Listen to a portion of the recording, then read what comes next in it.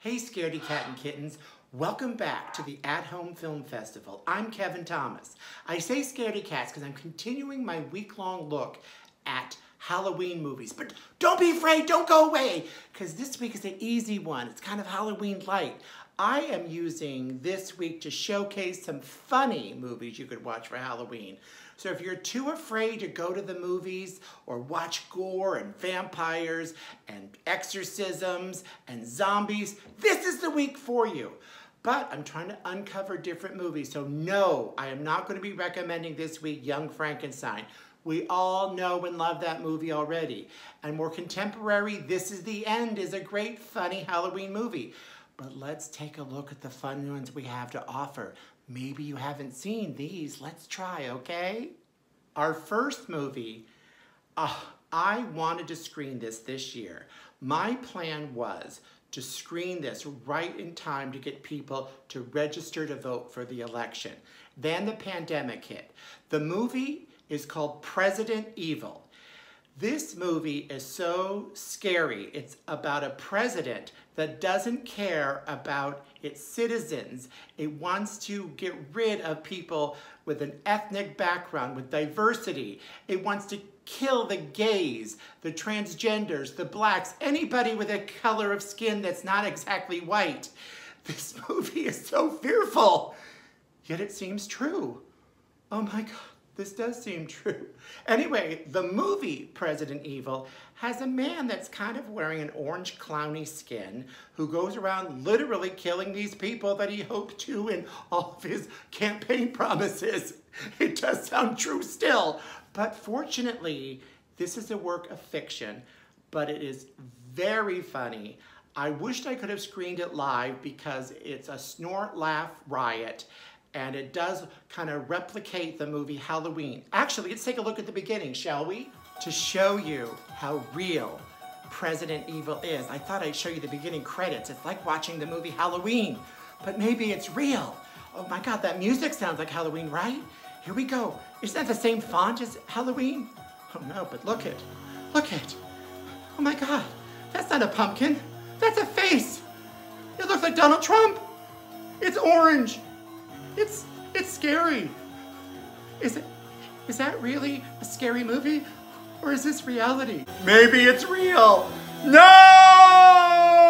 Our next movie is Halloweed. Yes, like, you know, weed.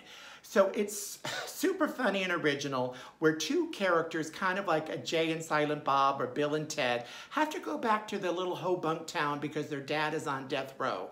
So of course, while they're there, crime happens, murder sprees, killings, oh my God. But guess what? A lot of people that die leave behind their weed. So these guys seem to have access to be able to get the weed, enjoy life, toke up a little and have fun.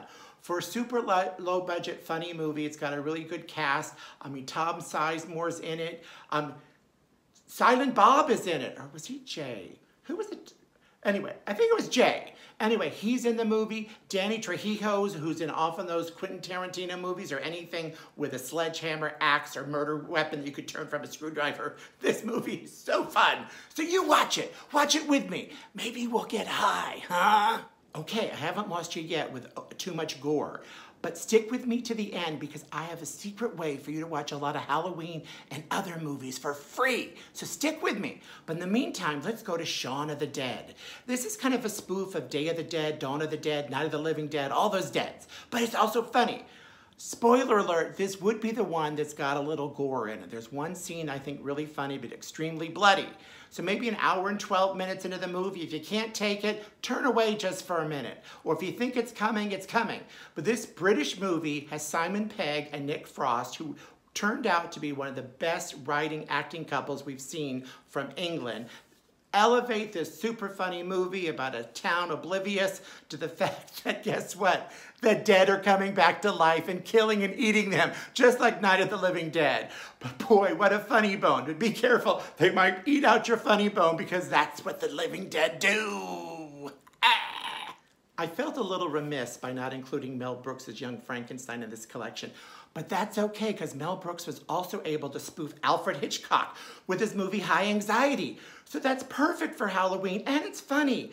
So he pays tribute to Alfred in such a comical way, bringing along everyone's favorite female lead, Madeline Kahn. But you see, he's spoofing. There's the birds. They're not biting your eyes out. They're shitting your eyes out. Oh my God, he does. He does so many moments from Alfred Hitchcock. It's so funny.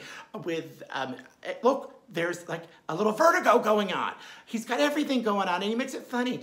And if Mel and Madeline didn't make you worth wanting to see this, Cloris Leachman gives an amazing performance as Nurse Diesel. She's got so many quotable lines that we could probably just watch her aspect all day long. I love this movie. It's super fun. What a great thing to do for Halloween. Oh my God, Dial M for Murder. They're all here. Everything's here. No wonder Mel Brooks is a master of cinema and comedy. Anyway, come on, join me. Let's watch together High Anxiety. All-star cast, funny movie. You'll laugh till you die. You'll die. oh, there's our nurse Diesel. Color is important for the well-being of the mentally disturbed. Those of us who pay attention to shows on Hulu, you will probably have seen what we do in the shadows. So you're gonna say, Kevin, what on earth are you doing that TV series in your film festival? But did you know it was first a movie? That's right. And if the movie wasn't good, why would they have made a TV series? Did you ever think of that? So yes, the movie was good. Actually, it was great.